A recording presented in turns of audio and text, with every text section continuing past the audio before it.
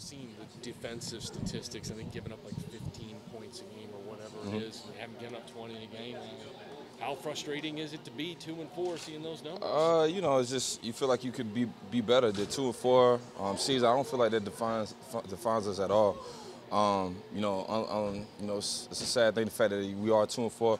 But at the same time, man, I feel like we're looking forward to the next challenge that we got for this week, man, with the Chargers. And you know, the only thing we can do right now, we can't let this thing, um, you know, linger. Like I always say each and every week.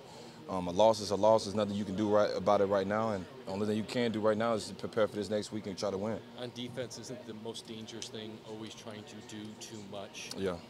Um, I would say it's really more of just the little things as far as our defense. I feel like we just want to be as perfect as possible. We, we have such high standards for ourselves. So anything we give up, any if it's a run, whether it's you know field goals or anything, we want we have really high standards, and I feel like it's the same way with the whole team. So.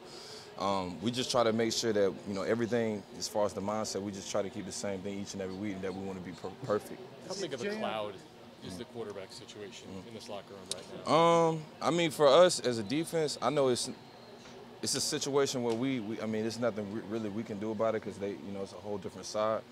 Um, the only thing we can do is, you know, try to apply our offense as many opportunities as possible. Um, I feel like that's what great defenses do. Um, you know, whether the, regardless of the situation that we're in, whether we're you know field position that we're in, we want to try to make sure that, you know, we we, we, we handle our end on the, on, on that side. This This is is such a close knit locker room. How important is it for you guys to like even maybe you physically tell the offense, remind them, we got your back, man. Don't worry Yeah. about it. We got your back. Yeah, we will continue to say that. Um, you know, because it might be a game that we might be uh, down on some stuff, and you know, teams are scoring on us. You never know. So um, we want to continue to keep that chemistry. It's, at this point in time in the year, you you don't want to try to you know part ways with guys. You don't want to have that type of you know environment or energy around the um, locker room. You want to you know try to keep this thing as po- um, positive as possible.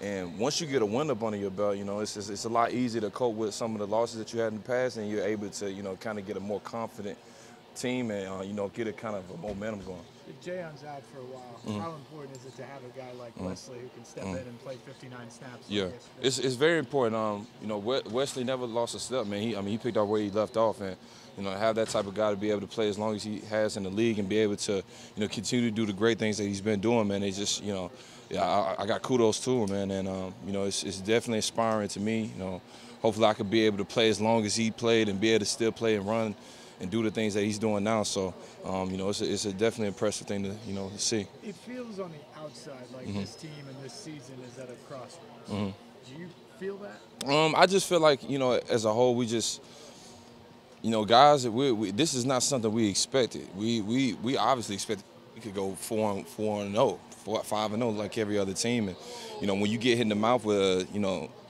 you know, a situation like this, you gotta. It's, it's all about how you respond. The, the the good teams and the great teams is the difference is the fact of how they respond. If you're able to come out and be able to get a couple wins up under your belt and be able to turn this thing around, that's the main thing.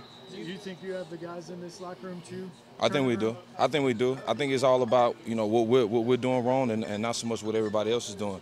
Um, you know, the number one thing is for every guy to hold himself accountable to know and be able to look themselves in the mirror and be like, you know, do I need to be better at certain situations and be able to you know do those things and be able to respond on Sunday. So, you know, once we once we handle that, I feel like we'll be all right. You remember the Marcus that won the Heisman Mm-hmm. and the guy who won the playoff game in Kansas City. How hard is it to believe, having seen all that, that you that you're in the situation that you're right now, waiting to find out who's Mm-hmm. Yeah. even going to start on Sunday? Yeah, um, you know, this is that's the name of the game, man. The NFL is unpredictable. Um, whether it's an injury, whether it's a, some, somebody's, you know, change of position or anything. So, um, even with Marcus' situation, I mean, the, the guy's uh, in his situation, he's doing everything he possibly can to um, be able to help win. And um, you know, sometimes it goes your way, sometimes it don't. But at the same time, you know, it, there's a reason why you got you know two sides of the ball. You got offense and defense, and you know both sides have to work together in order to get a win.